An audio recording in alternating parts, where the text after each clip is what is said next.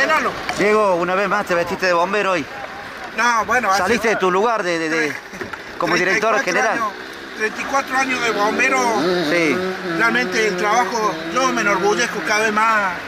Ustedes lo han visto. ¿Cuántas vidas han salvado hoy? Si se pueden a pensar un segundo. ¿Cuántas vidas? Ustedes han visto el laburo, cómo se labura. Esa es la verdad. ¿Cuántas viviendas?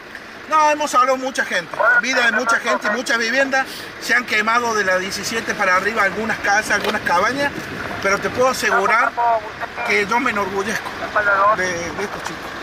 Gracias, Diego.